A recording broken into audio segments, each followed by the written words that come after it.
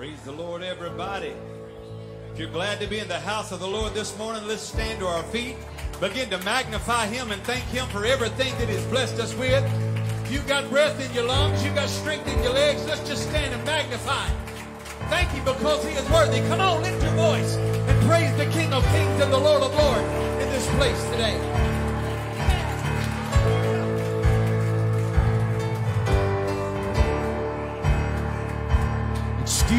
For a minute, but I've got a song to sing.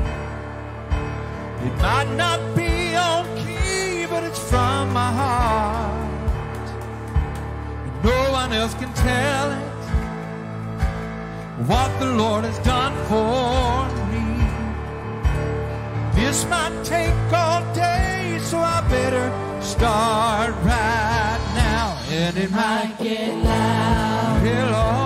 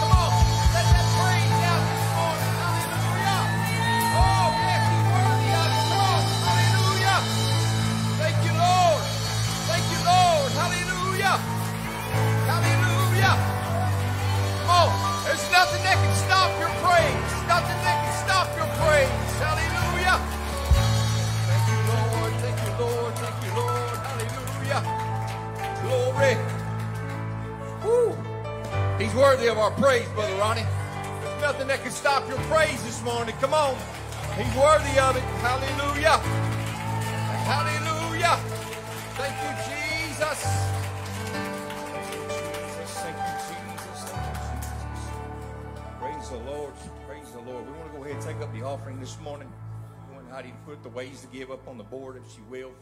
We have Riverbend Pentecostals. We have Givelify. We have PayPal. Cash a check can be mailed to Riverbend Pentecostals, P.O. Box 477, New Madrid, New Madrid, Missouri 63869. Text to give 833-883-9311. Amen. I believe this prayer works, and I know this prayer works. Amen. If you will say it with me, upon the authority of your word, I've given, and it shall be given unto me. Pressed down, shaken together, and running over. I am a tither, and I give my offerings. I bring them today into your storehouse. Therefore, the enemy is rebuked, the curse is broken. I live under an open heaven. You pour out on me such a blessing, room to receive it. We receive jobs and better jobs, raises and bonuses, sales and commissions, benefits and settlements, states and inheritance, interest and income, rebates and returns, checks in the mail, gifts and surprises, bills paid off, debts demolished, and royalties received. My whole family saved and serving God in perfect health and abundance, walking in divine favor and blessing. I'm blessed going in, and I'm blessed going out. And all that I do will prosper. In Jesus' name, amen. Tithing on the inside, offering on the outside.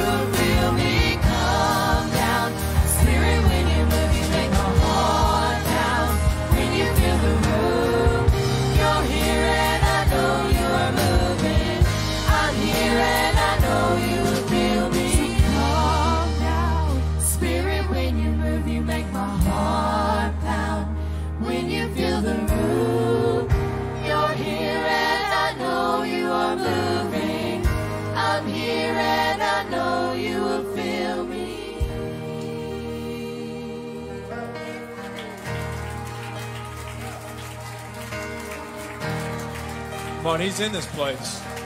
Come on, I said he's in this place and he's moving. Why don't we just begin to lift him up this morning? Why don't somebody give him some high praise and thank him? Come on, you didn't have to feel his presence. You feel him because he's merciful. Because there's mercy in this place today. There's grace in this place today. Brother Tripp, because he endured that cross, despising the shame, and that veil was torn. Pastor, it's because Jesus didn't open his mouth and he went to that cross and died for us. He died for every one of us. It's because of his blood that we're in this place today. Hallelujah.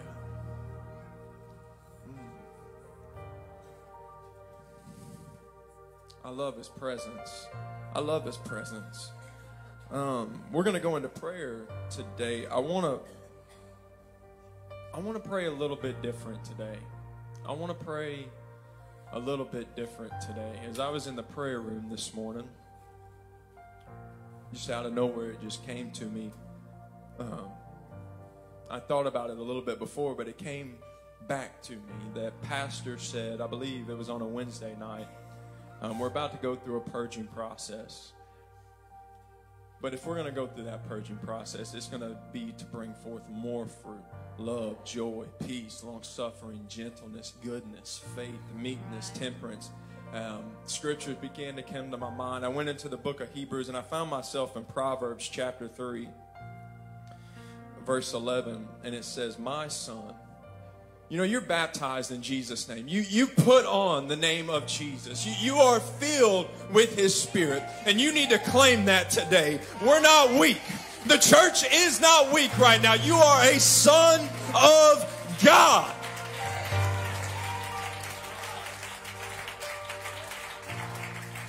But it says, My son, despise not the chastening of the Lord, neither be weary of his correction. We're not abandoned. When we go through the tough times, he does not abandon us. That, that is a lie from hell. He is with us, and Brother Terrence, he doesn't leave us, he don't forsake us. For whom the Lord loveth, he correcteth, even as a father the Son in whom he delighted. He loves us. Pastors talked about it, but we have known and believed the love that God hath to us. It taught, but God commendeth his love toward us in that while we were yet sinners, Christ died. Much more than being justified by his blood, we shall be saved by wrath. He loves us and we're covered in His blood. But what I really want to pray for today, I've been feeling in the prayer room. I don't want to pray for all the problems to go away. Brother John, if He wants to do something in my life, I'm not praying for the problem to go away. I'm not praying for the trial to go away. I'm praying that His presence will bring me through that and accomplish what He wants to in my life, what He wants to in the church. So, what I want to do is we pray this morning if everybody would lift their hands this morning as we pray, I want to pray, I want to pray that Pastor's word will go forth and accomplish what it needs to.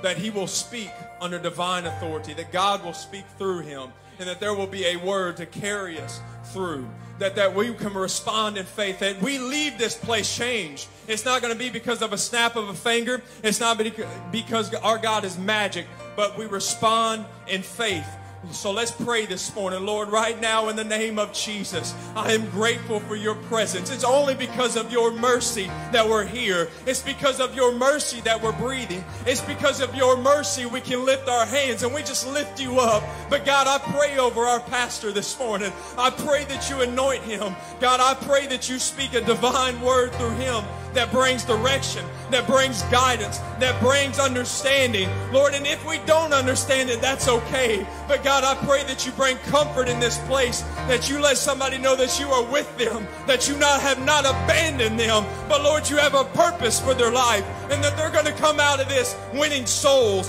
They're going to come out of this with fruit. They're going to come out of this with love, and the world's going to know us because of that fruit that love, joy, peace. Lord, let us be peacemakers. Those are the sons of God. God, I pray that we find peace in our homes. I pray that we find peace in our jobs. But God, you have a purpose for us. We need you today, God. We cry out because we need you.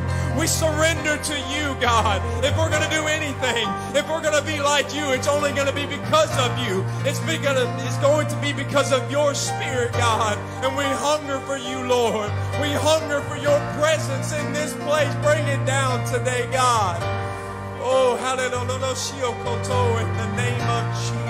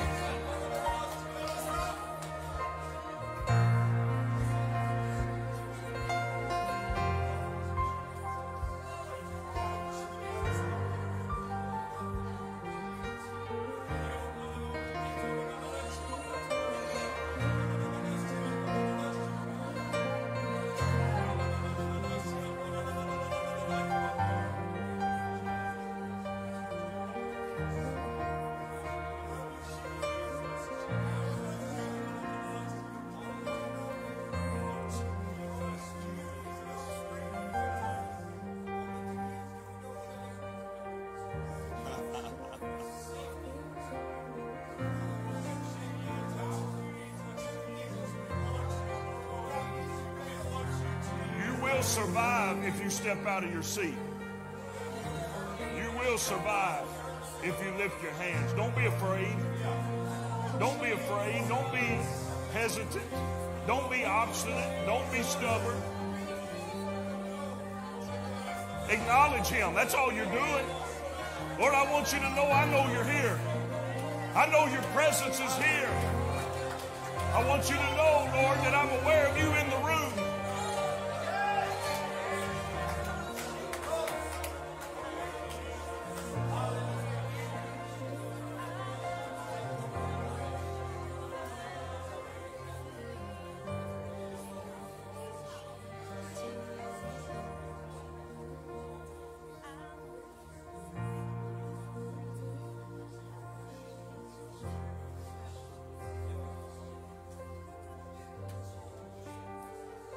I just like to know what has the devil told you that you believe? I ain't talking to all these folks up here. You don't have to act a fool. But let me tell you something.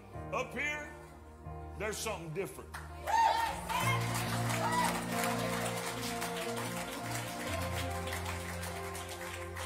You don't have to act a fool. Matter of fact, I've challenged folks. Just come stand up in there among everybody.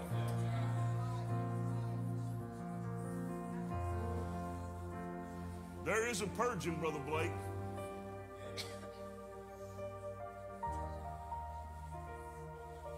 Don't get scared of what I'm about to say. I want the Lord to know I'm worth keeping around. That doesn't mean I got it all together. That doesn't mean I'm perfect, but it means I want to be. It means I want to have it all together.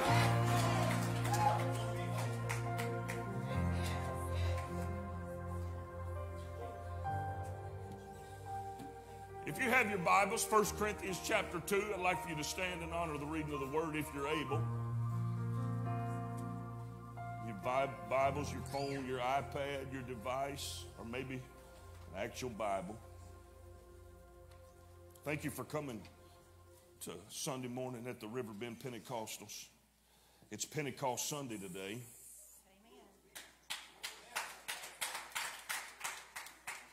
That means on this day, 29 AD, for the first time, the baptism of the Holy Ghost was poured out. First on 120, about 120 in the upper room. Then about 3,000 the same day. A few days later, about 5,000. And it's still being poured out. If you've never repented of your sins, been baptized in Jesus' name in water, and been filled with the baptism of the Holy Ghost with the evidence of speaking in other tongues, you can do it. While I'm preaching, while we're praying over the word, it's for you. It's not, it's not optional, it's essential.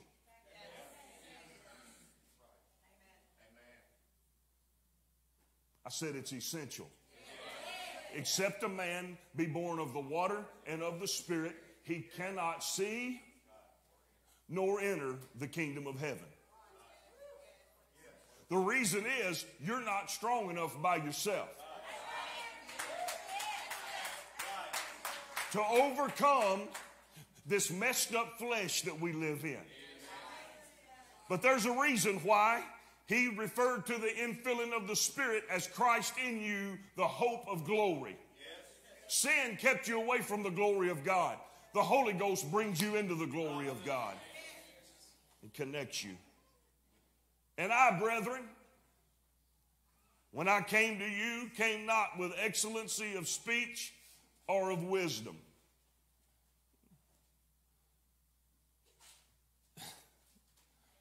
I feel like everybody ought to turn to one another right now and say, No kidding. yeah, I didn't really mean for you to do that.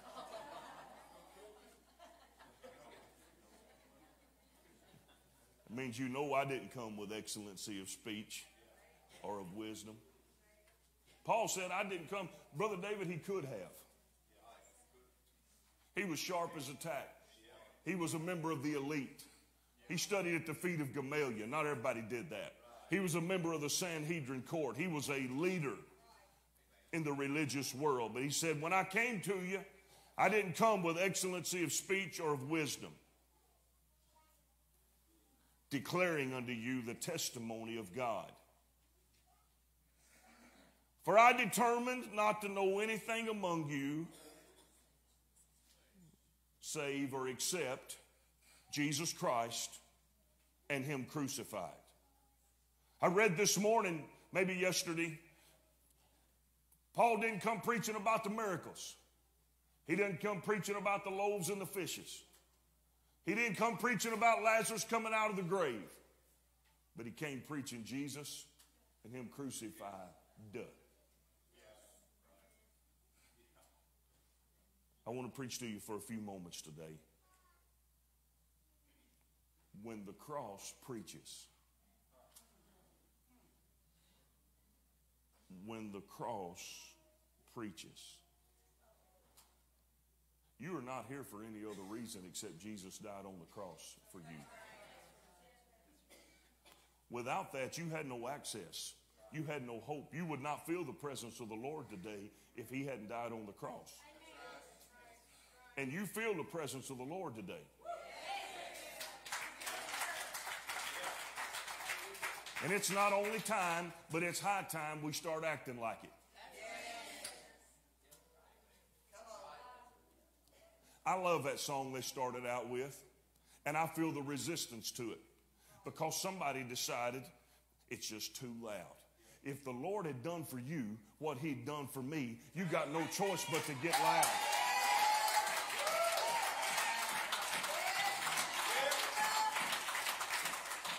The psalmist said, Praise him and make a loud noise.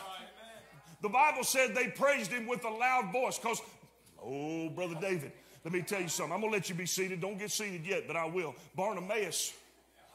Oh, I thought about it a while ago. They said it might get loud. You know what? Bartimaeus got loud before the miracle.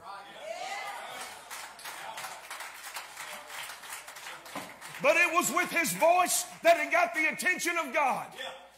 What do you reckon would happen in this place if you had to lift your voice to get the attention of God? We are people that praises the Lord.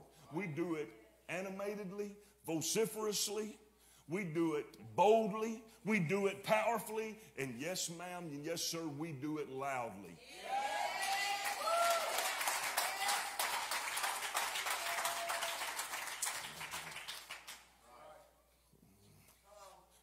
There's going to be some things happen in this room that's going to unloose the loudness in you, to wake up the loudness in you. Be ready. Be ready. When that woman with the issue of blood touched the hem of Jesus' garment, the Bible said Jesus stopped and looked around in a crowd.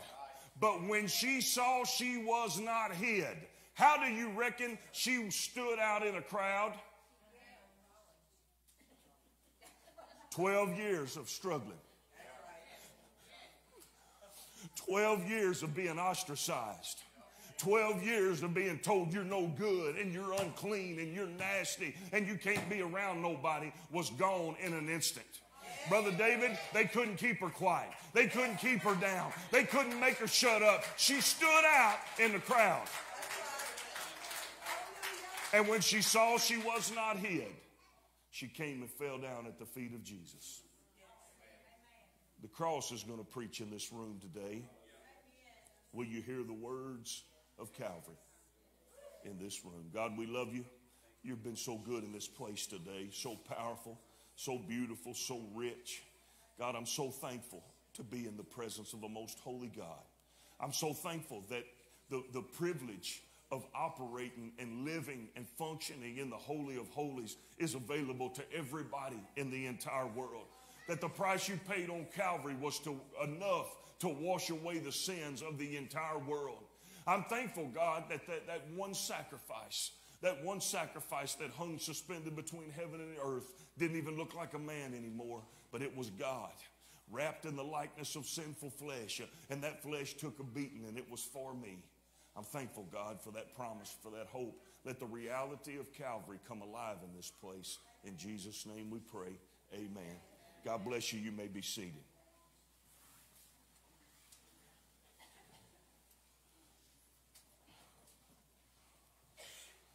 A contentious spirit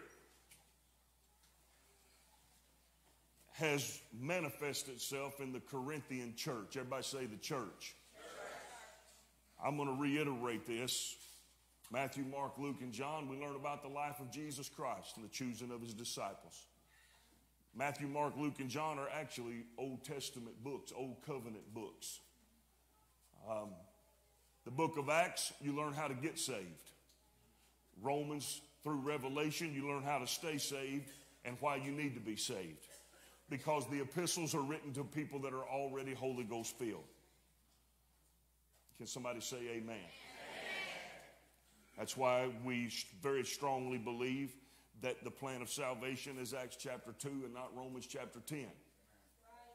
Can I get another amen in the house? A contentious spirit has manifested itself in the Corinthian church. Contentiousness has no place in the body of Christ.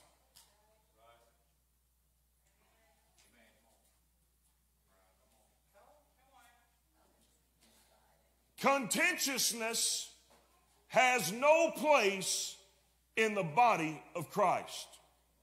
If you're ornery in your spirit, you need to repent and pray through because everybody else ain't messed up. It's like I've said before, if you've worked 10 or 12 jobs in your life and you always got laid off in the middle of a hiring spree, there ain't nothing wrong with them jobs. There's something wrong with Y-O-U or M-E. It might be right now that we need to ask God to forgive us because when we walked in here, we said, wonder why she fixed her hair that way. When we walked in here, we said, I saw that dress on the clearance rack last week. Look what she old, oh, poor mouthing self. Uh, we walked in here and we said, I can't believe the temperature's set like that again. We walked in here and said, I can't believe they're singing that song again. If any of those types of things ran through your mind, you need to just stop what you're doing right now and ask the Lord to forgive you for bringing contentiousness to the body.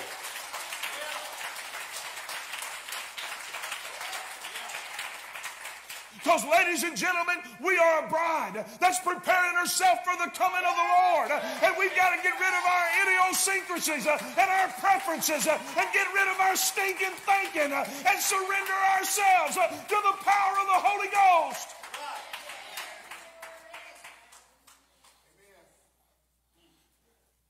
The call from Paul, hear me now as I preach to you from the Word of God. The call of Paul is that they all speak the same thing, that there be no divisions in the church.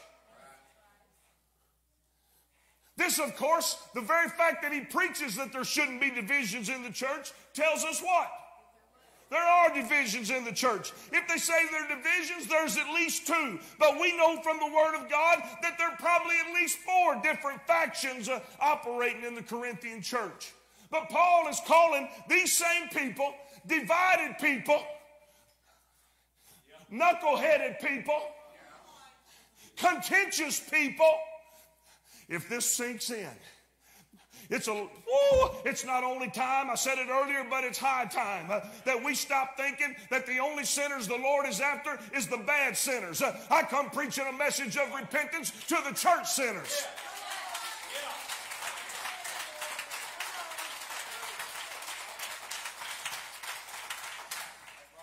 Oh, God, forgive me. Paul calls them to be perfectly joined together because that's what God intended when He called you to the body. I said, that's what God intended when He called you. Somebody that's truly called by God and following the leading of the Spirit will automatically be in alignment with the body. In the same mind, he said, be joined together in the same mind. That's the same way of thinking. That doesn't mean you got to all like sauerkraut and weenies. But that means when you come into the house of God, you better want the same thing. You better be feeling the same thing. If you're not, you better be changing how you feel. You better be pushing the same way. Wonder who's going to get baptized today. Wonder who's going to get filled with the Holy Ghost today. I wonder who's ready for a miracle today. The Holy Ghost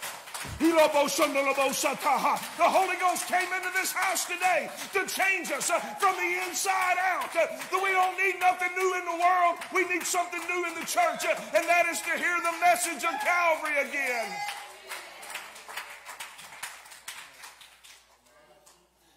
He said, I want you in the same mind. Y'all ready for this? Josh, I may need you. Where's it? There you are. I may need you to pull that Chicago Bulls stuff up on your phone and just have it ready. Because when I say y'all ready for this, you can just play and bust it out. And lights will start going all over the place. And I'm 23. Most of y'all don't even know what I'm talking about. He said, I want you to have the same way of thinking. Well, I think everybody needs to have their own opinion. That doesn't line up with the Word of God.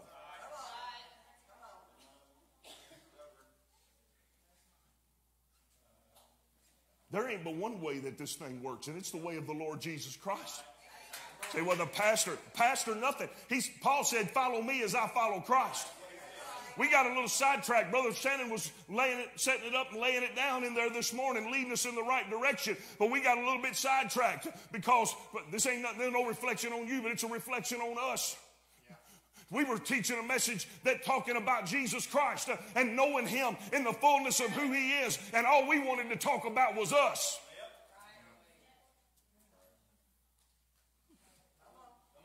Uh oh. That's not an indictment on anybody, but if we're not careful, everything turns into us. I wonder if they're going to sing the song I like. I wonder if I'm going to have the temperature like I like it. I wonder if he's going to preach one of them messages that I like. I'm happy to tell you that I come into the house of God because I want to be what He likes. I want to do what He likes. I want to be what's pleasing to Him. And He likes it when winos become sober. And He likes it when drug addicts get set free. And He likes it when people that don't have water and don't have good hygiene start taking a bath and getting right and getting holy. The Lord likes it when people's lives are changed. And we can't have anybody here that gets a life change until we have people here that are messed up. Welcome to the Riverbend Hospital. This is not the Riverbend Church. This is not the Cotton Picking Riverbend Country Club. But this is a place where hurting people come. This is a place where messed up people come. This is a place where sinners come.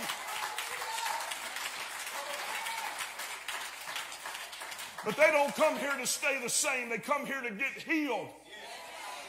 And the reason why we have hope of healing because he was wounded for our transgressions. He was bruised for our iniquities.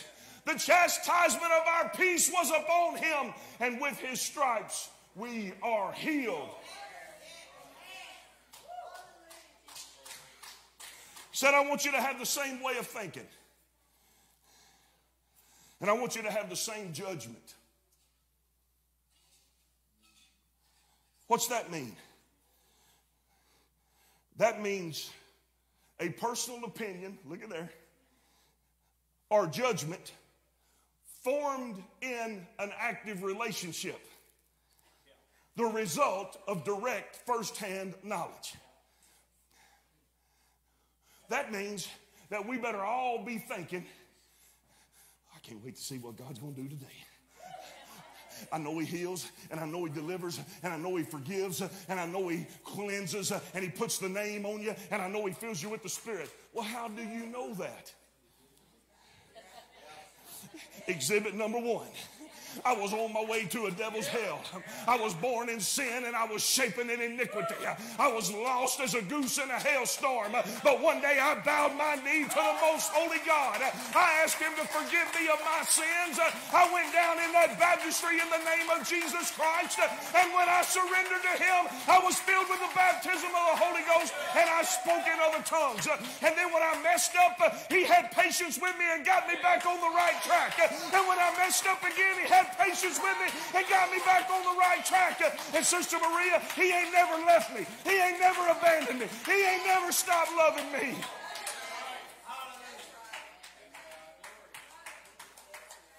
I'm about to get too old to preach like a wild man.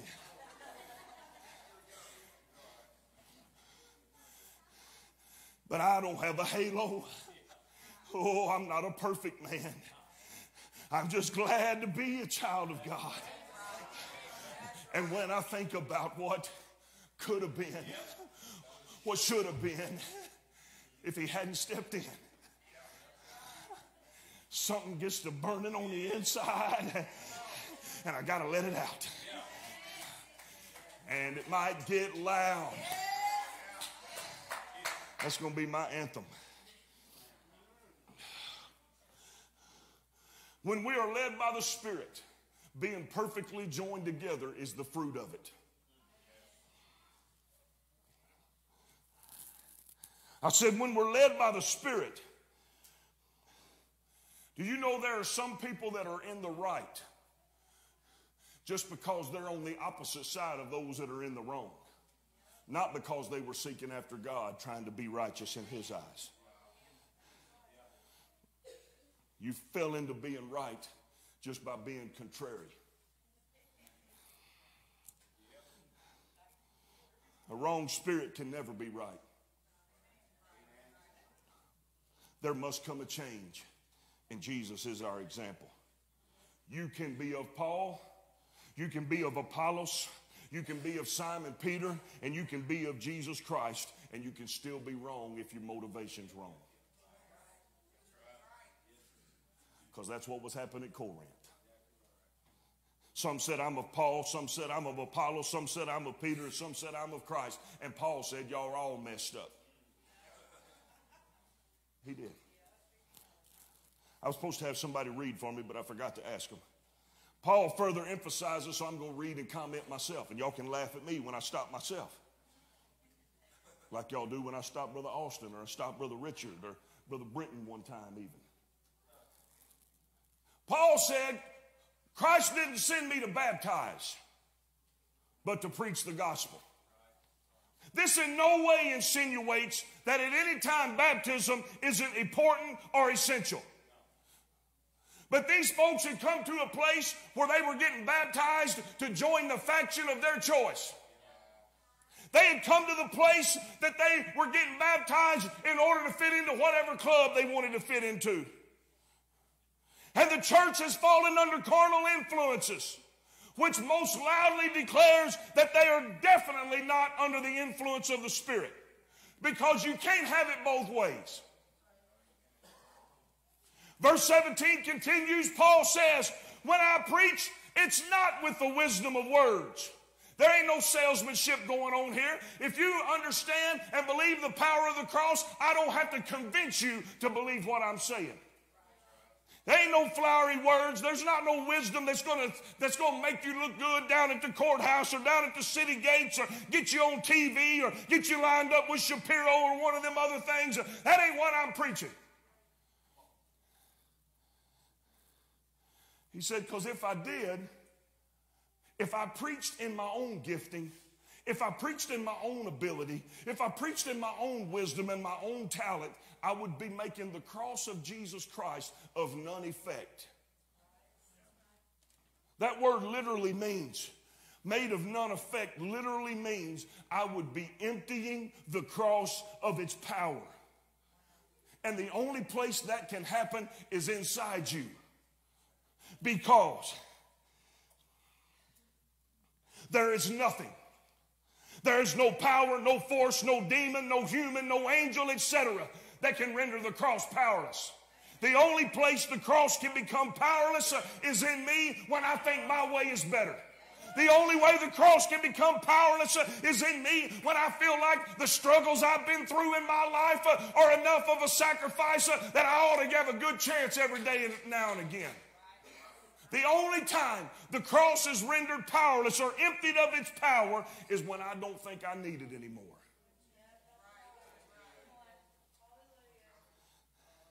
You're going to like this, Brother Shannon. Verse 18. For the preaching, you got that for me? For the preaching. I couldn't believe it when I saw it.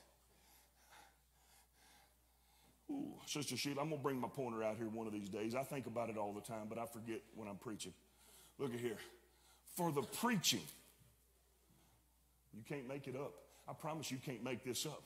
I wasn't looking for this. You know what that word preaching is? You know what it comes from in the original Greek? Y'all ready for this? There you go. Logos. And you know what the logos is?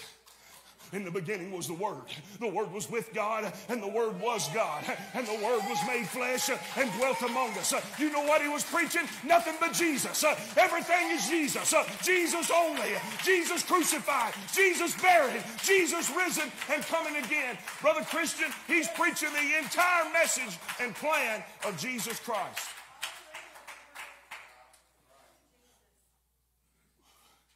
For the Word of the cross is to them that perish foolishness. I looked that word perish up.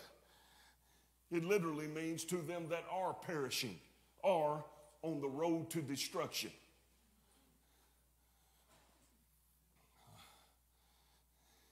Y'all wanted me to preach a little tougher, so here it goes, baby.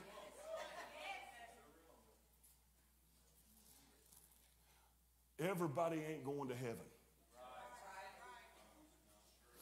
Everybody's not saved.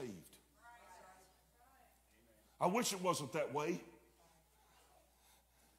I wish it was just one big group of us getting on the ferry and riding it over. There are some that are on the road to destruction. Some of them go to church.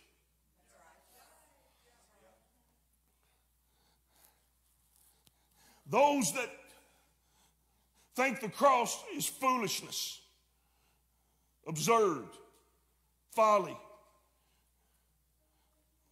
they're on the road to destruction. But unto us which are saved,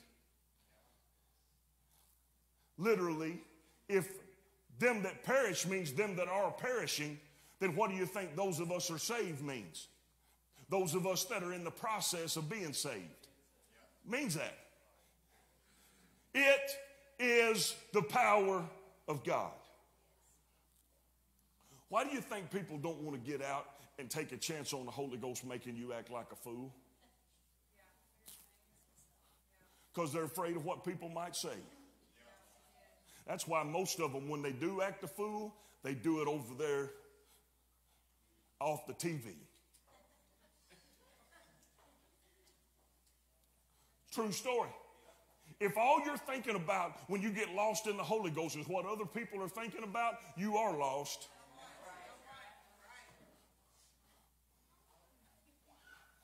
They all now, uh, there ain't nobody in this church thinks about that more than me, probably.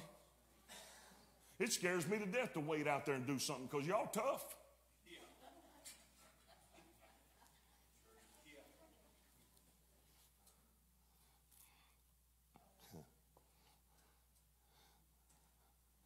But unto us which are saved, it is the power of God. I looked that up. Power, dunamis. You know what it means? The ability of God at work. So you want to know why I worship him, brother Christian? It's because I'm watching him work. Because I see him in action. Brother David, he's not a God that's just an idol. He's not a God that's in the tomb. The resurrection shows up every service. The power of the resurrection shows up every service, and I watch the power of God at work. The primary difference between those on the path to destruction, and I've been saying it nice, but that's people who's going to hell.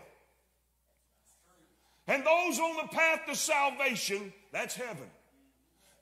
Only two options. People that preach there's some kind of in between place, they're deceived.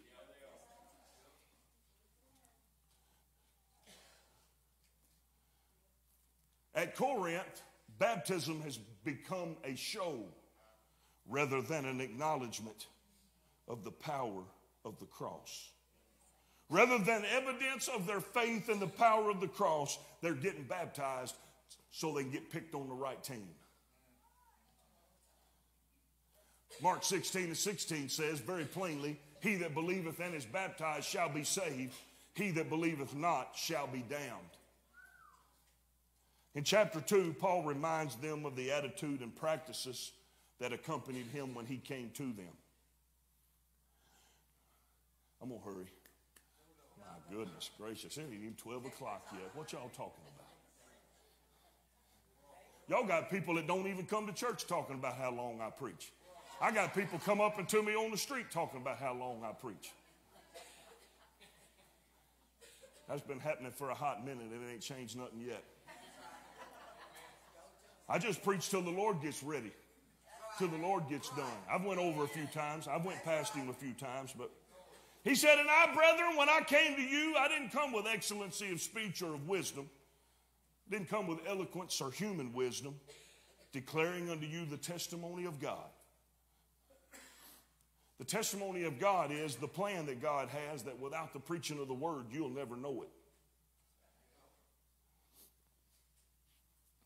For I determined, I made up my mind, I made a decision not to know anything among you save Jesus Christ and Him crucified. I've preached from this countless times.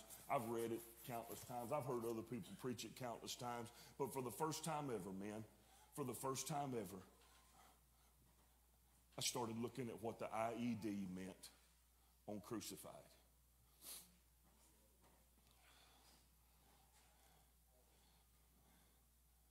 And we like to preach, and I don't think we should ever stop, but we like to preach the experience of Calvary, right?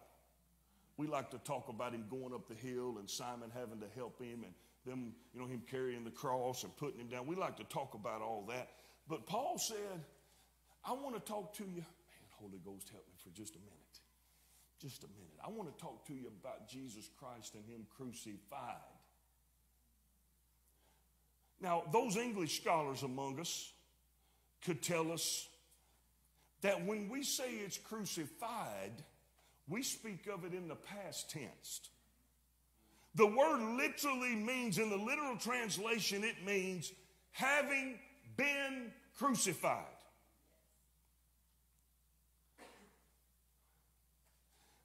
The same message of Calvary that we hear, our sins also hear both those that we committed when we were heathens and those we've been committing in the process of salvation. They hear the message of Calvary, of which the sin of which these church folks in Corinth are guilty, which is pride and self promotion. They all say the same thing, which is, I could have come out of this by myself. I could have worked this out by myself. But Calvary preaches to my sins uh, and says, couldn't have done it without me. There ain't no way that you could have done this without the cross. Uh, both the things I do wrong and the things I don't do right. Uh, Calvary preaches to my success. Uh, Calvary preaches to the angels. Calvary preaches to my enemies. And Calvary preaches to the devil. And Calvary preaches to my infirmities.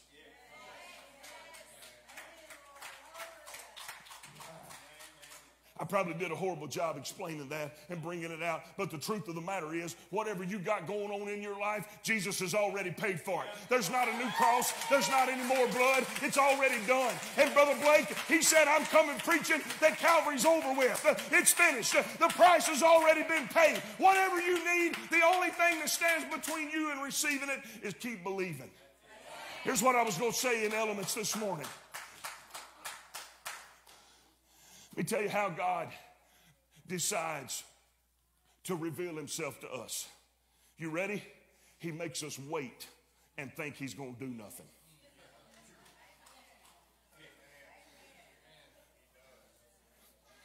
And those of us that don't have a true revelation of the price that he paid on Calvary, we'll get impatient and build us a calf. We'll get impatient and try to find us a new wife, or, try to find us a new husband, or try to find us a new job, or try to get a new car, because we just know that God ain't showed up yet.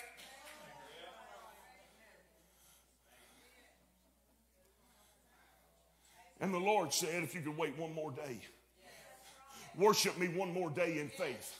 Praise me one more day in faith. Uh, give me one more hallelujah. Give me one more thank you, Jesus. Uh, give me one more shake it off, uh, stamp it down, and step up. Uh, give me one more shake it off, uh, stamp it down, and step up. Because you're coming out, baby. Healing is coming for you. Deliverance is coming for you. Comfort is coming for you.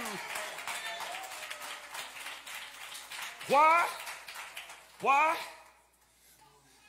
Because it's already paid for.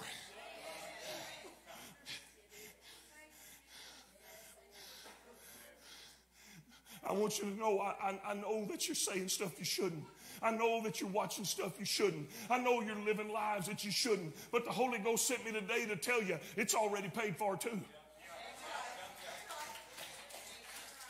People in the church that gossip, He died for you. People in the church that are rebellious, talk about the pastor, talk about the pastor's wife, talk about everybody. He died for you too. Oh, we, they ought to know better than that. Exactly how's that working out for the rest of us? Huh? You know what? We're in the process of being saved, Brother Shannon. I'm not going back, Brenton. I am not. I'm on my way to heaven. And sometimes I fall down. And sometimes I get knocked all the way down. And sometimes I'm bleeding. And sometimes I'm battered. And sometimes I'm a dummy. But you know what? Calvary is done. It's already done. That's why God is doing something at the Riverbend Pentecostals. Uh, he's teaching us uh, that there is no sin bigger than the cross. And there is no time you can commit it that Calvary's still not effective. I don't know why that makes us nervous. We really like hellfire and damnation. We really like preaching and telling people you better straighten up or you're doomed. You're going to hell in a handbasket. But the truth is, Calvary decided our salvation. And Calvary also will decide the end of our salvation, and it ain't happened yet.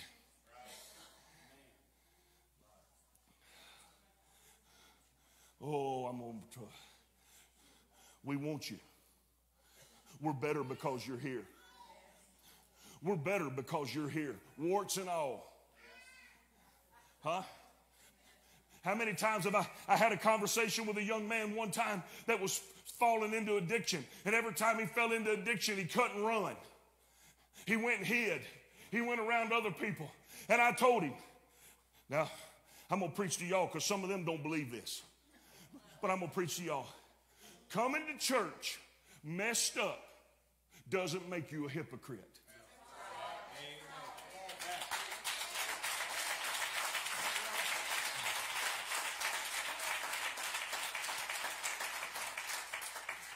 Okay? And I told him,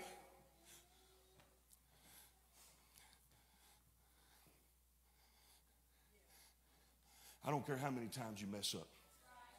Don't stop coming to church.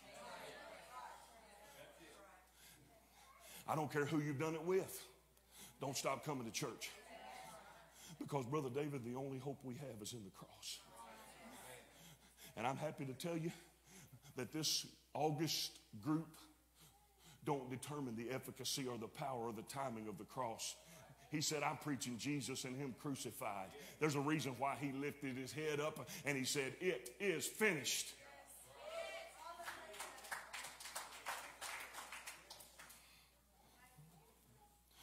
Don't stop waiting. Don't stop believing. Don't stop holding on. Calvary's already paid for what you need. The Lord is not going to have to get the angels down in the workshop like Santa Claus or something, coming up with a new plan or coming up with a new idea or coming up with a new pathway. Calvary took care of everything you need.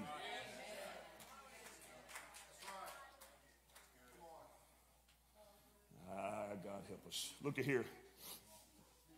What does Calvary say?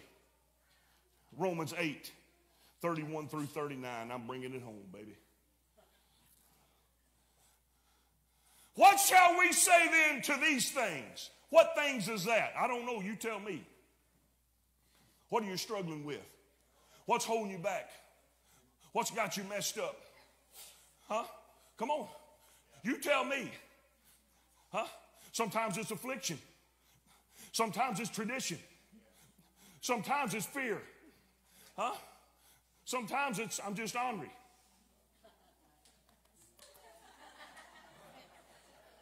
Really? What, what is it? You tell me. What is it the devil uses against you? What is it that the enemy tells you? What is it that you think people are saying about you? What is it that's in the world that attracts you so much that you can't surrender to the Lord? What is it? You know. You know. And unfortunately, in the age of social media, way too many other people know. So, what shall we say to these things? I'm glad you asked. If God be for us, boom, drop the mic. The first thing the devil will tell you is that your problems are bigger than the blood of Jesus Christ. Uh, he'll tell you that your problems are bigger than the cross of Jesus Christ. He'll tell you that God doesn't have an answer for what's going on with you. So, what's the message of Calvary say? If God be for us, Woo! I feel the Holy Ghost in this house right now. Somebody's believing it. Somebody's believing it. Somebody's decided deliverance is more important than getting the jack in the box. Somebody believe that deliverance is more important than making it to the China buffet before somebody else. Somebody figured deliverance is more important than your roast beef in the crock pot. Deliverance is more important than your schedule or your calendar. I really do love you, Paige. I was just you happen you happen to be in the wrong place at the right time.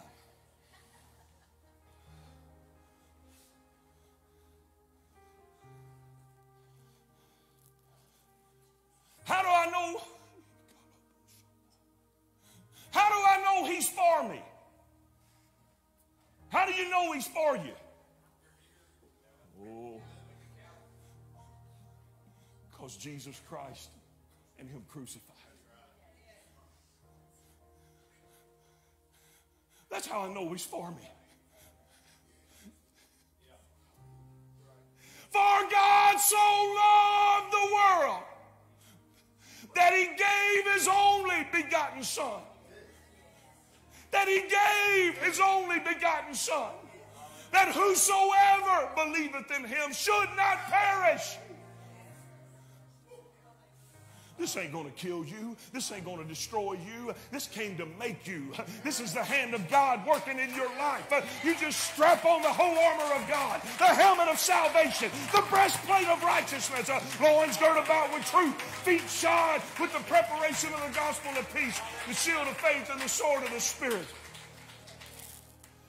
He spared not his own son, but delivered him up for us all. Everybody say all. That means all. how shall he not with him also freely give us all things? Look at here. Who shall lay anything to the charge of God's elect? Who will condemn and damn the people that are chosen by God? When it's God that justifieth.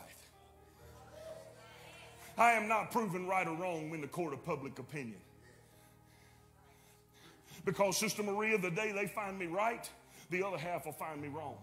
But when I stand before the judgment seat of Lord God Almighty, He judged me with fairness, uh, and He judges me with equity, and He judges me with a pure mind and a pure heart. It is God that declares me righteous. That's the book. You see it? Who's going to throw blame at God's elect when it's God who justifieth? Who is he that condemneth? That says you're no good, that you're useless, that you have no chance, that you are not habitable, that you are not livable, that you are done. It is Christ that died. You know what happened, Brother Shannon? Brother John, you know what happened when he died? You know what it's called when they pass execution? Condemnation.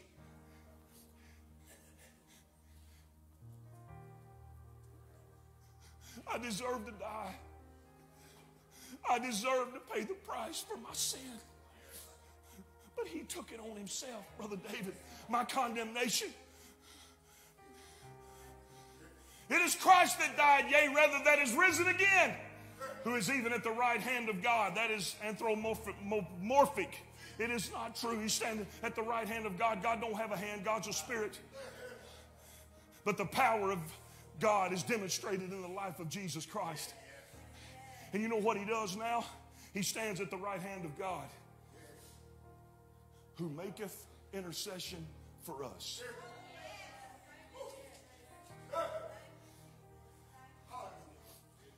But he doesn't do it with some new evidence. He did it at the cross.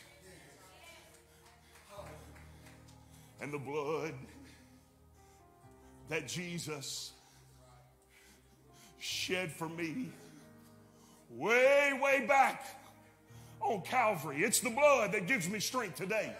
You want to know why? Because Jesus stands in intercession. You know how he can stand in intercession? Because he was subject to everything I've been subject to. He made himself a human being and he lived life just like we've lived it.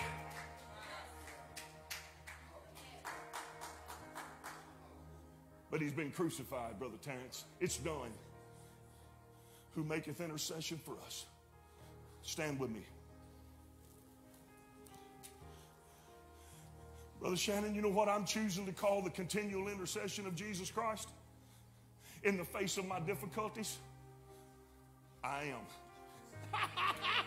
I wrote it down in my notes.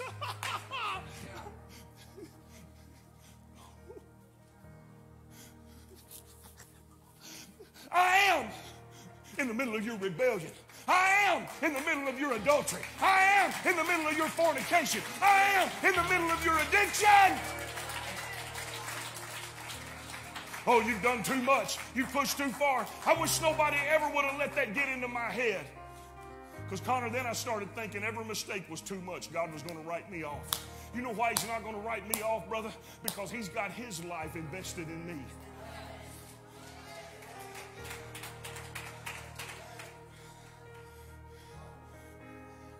Verse 35. Who shall separate us from the love of Christ? Shall tribulation or distress or persecution or famine or nakedness or peril or sword? And with one voice we should all holler, No! Nothing can separate me from the love of God. For thy sake we are killed all the day long. Flesh ain't never going to submit on its own. I got to get it crucified every day. And you know why I can do it? Because he's been crucified. I just point the enemy to the cross.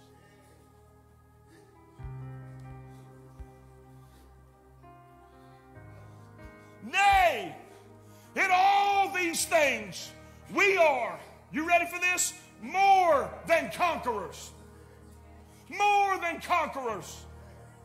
More than conquerors.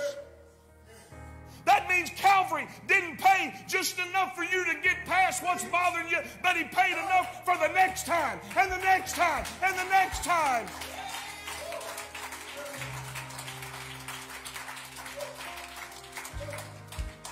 Oh, here we go. Through Him that loved us. How do I know He loved me?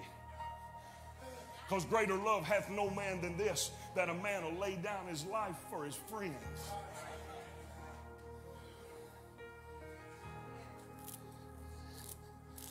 For I am persuaded.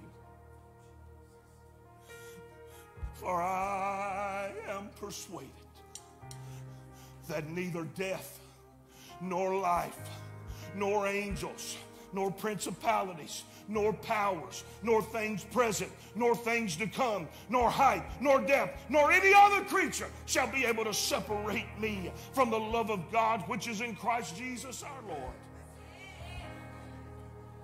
See, Brother Eli, there ain't nothing new coming down the road that Calvary ain't already taken care of.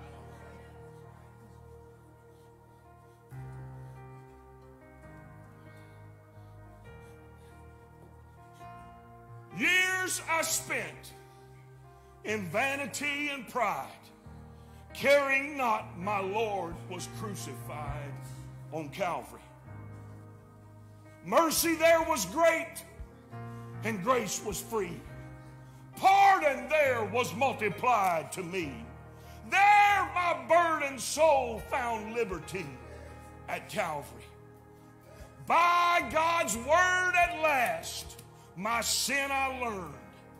Then I trembled at the law I'd spurned, till my guilty soul imploring turned to Calvary.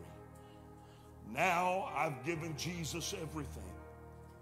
Now I gladly own him as my king. Now my raptured soul can only sing of Calvary.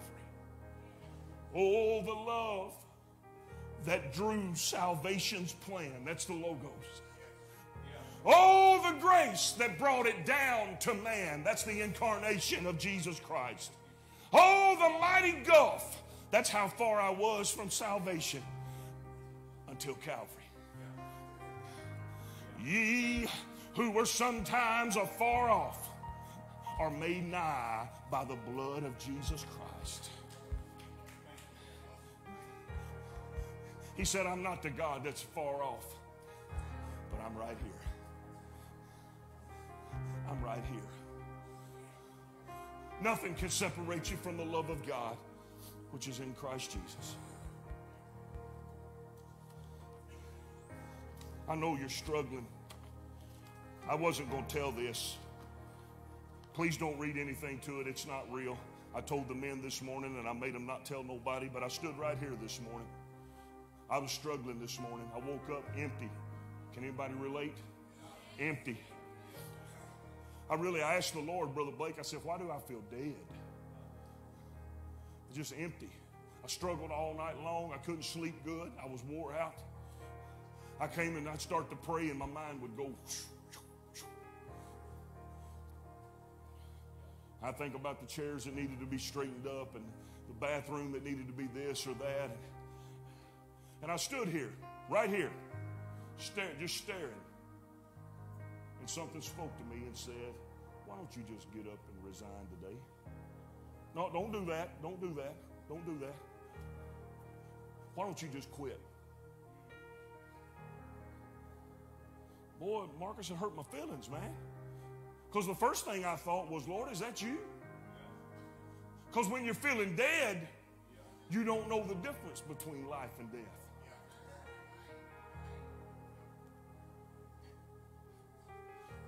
That's why when we're vulnerable, Britain, the enemy comes.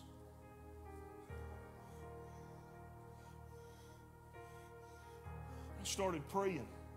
Not much and not very well, I might add. And somewhere over there in that aisle, you better be careful if you get out in that aisle, somewhere over in that aisle, I felt the whoo. And the Lord said, Things don't stay the same with you but they always the same with me.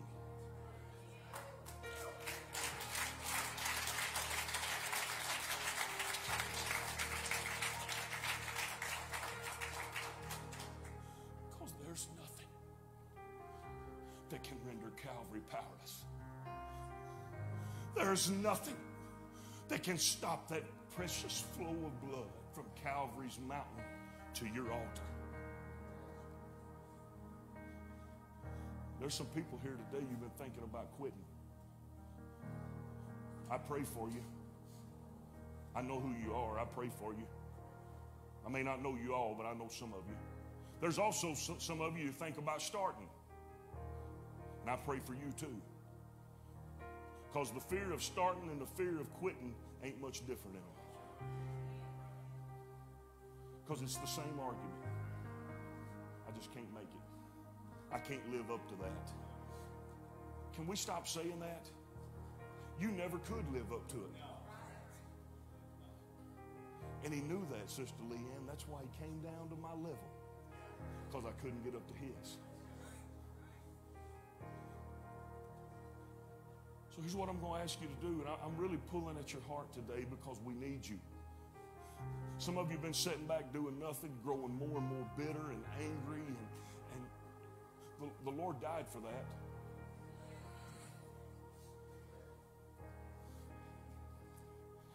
We got no problem talking about the mercy of Jesus Christ for the people out there living in the gutter. But somehow we forget about mercy for those sitting on our seats. He's not given up on you. He's not forgotten you. He's not abandoned you. Your purpose hasn't stopped. Calvary's still good for you. Calvary still works. Praise team is going to sing this song. I heard them singing it this morning, and it fits this message. My wife's incredible like that. Because I was supposed to give it to her, I didn't have nothing to give. But if the Lord has spoke to you today, if you thought, if you thought about giving up, if you thought about starting, if you wondered why God hadn't shown up yet, and you've been thinking about seeking it your own way, if anything I've said today's is ministered to you, don't walk out these doors until you touch the throne of God. And let him know I'm still here. It's on my paper here, Brother Jeffrey Wayne Arnold. Right there. You know what that says? I'm still here. That's what it says. You know why I'm still here? Because of the cross. He's got too much invested in me. I understand it. I've seen it. I know what it's like.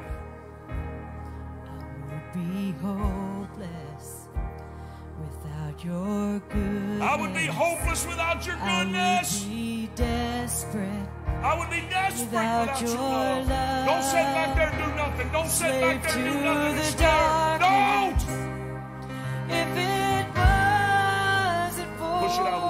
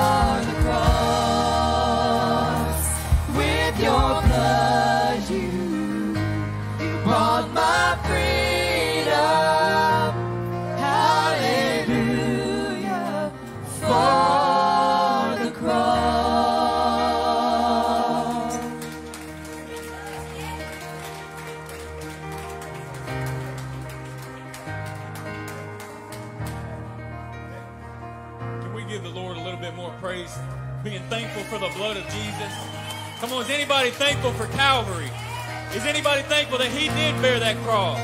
That He bared the pain? That He took those nails for you, for me? Amen. Amen. You can be seated. I'm reminded of a, I, which I was reminded earlier of it, but it's crazy how the service just flows through the Spirit when God moves.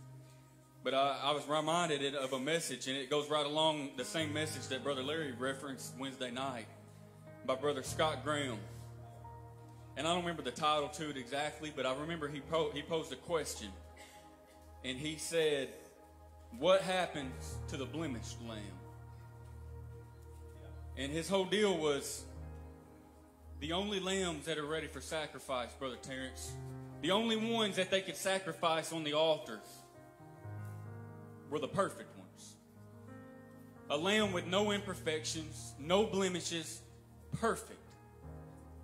And he said, What happens to the, the imperfect lamb, the one that, that has problems or has discoloration or has broken a, a bone or has had some problems in their life?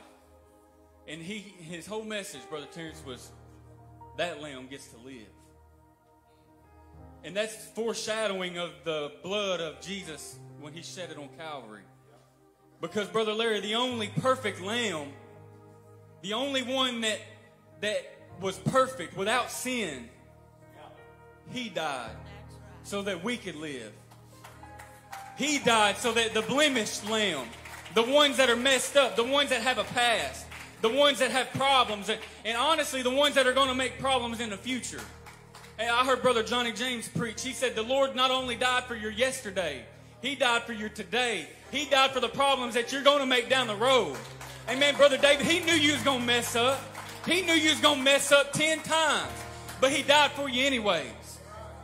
It goes beyond anything. Brother Shannon, it's just like the I am. It defies time. It defies anything about time. He was yesterday, He was now, and He will be. He died for your yesterday, He died for your now, and He died for your tomorrow. Amen. That shows you right there the love of God. That He took those nails, that He took that pain for not just the, the mistakes that you've made, but He died for your tomorrow. That's right. Amen. There's power in that, Brother Blake. There's an old song, there's power in the blood. Wonderful, working, powerful. We're wonderful, wonder working power in the blood. Amen. I don't ever want to forget that there's power in the blood. Brother Gleason, and I'm not up here preaching. I, I thought earlier, I said, I, after this, I need to have Dad come back up here and hand him the mic just so he can drop it. Amen. What a powerful message. But I was also reminded there's so much powerful, there's so much power in the blood. Brother Gleason also preached a message. A lot of them will remember that from NAYC one year about the snake. You know, it's crazy that the Lord references the snake. We associate the snake with the devil. And uh, he talked about the, the venom of a snake, Brother Austin, and how it can kill. If a snake bites you, it can kill you. But it's crazy. You know what the antidote to that is? You know what the antidote to the, to the venom of a snake is? It's lamb's blood. Amen. Ain't it crazy how the Lord just uses things, even physical things that we just on here on earth, that back up the Word of God? Amen. That there's power in the blood of the Lamb.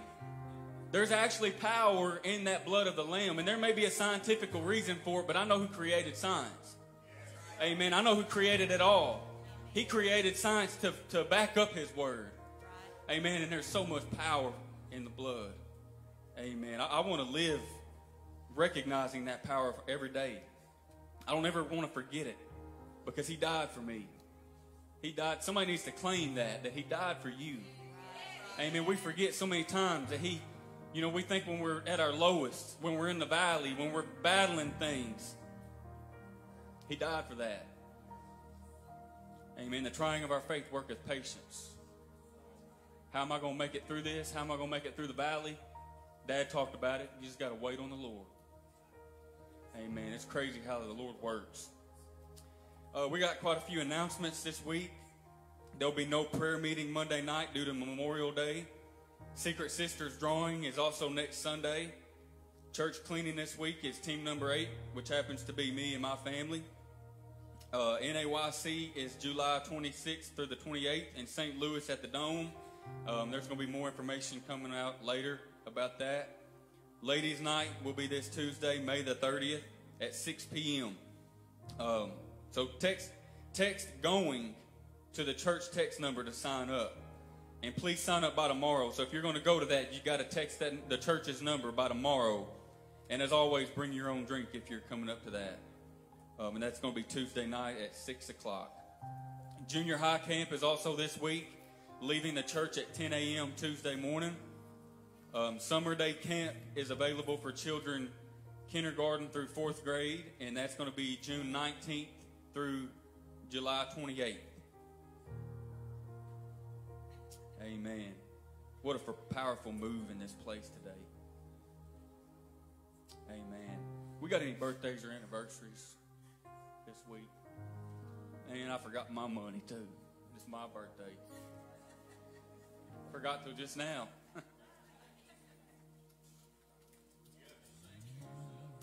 Brother Billy, if I sang to myself, I would just hinder the Spirit of God. Nobody show back up. Mama got me. By faith, I, I'm going to live to be 100, I guess.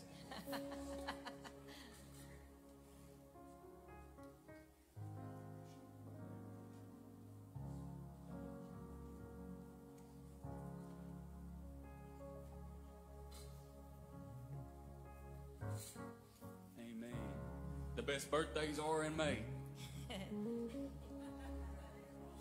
All right, I'm already standing, but I'm, I'm gonna hold that, back, that, that mic back here like Cody used to. Birthdays first. We'll do birthdays first, so everybody birthday stand up. A happy birthday to you, a happy birthday to you. May you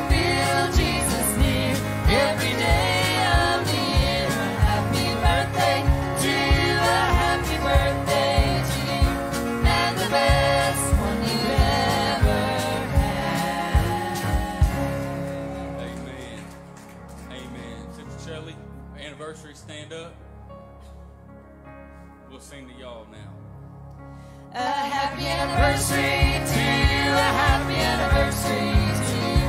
May you feel Jesus near every day of the year. A happy anniversary to you, a happy anniversary to you. And the best one you ever had. Amen. We all stand in the place today? I should have had Lottie come up here and sing because she loves the birthday song anyways. She'd sure enough sing it. Brother Terrence, why don't you dismiss us in prayer today?